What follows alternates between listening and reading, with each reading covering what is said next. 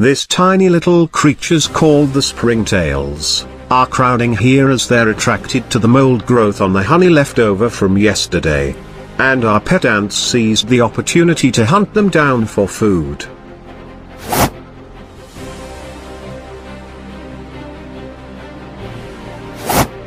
This will not be easy as the springtails are agile, and can launch themselves on air like springs. And they're so small as well, raising the difficulty even higher.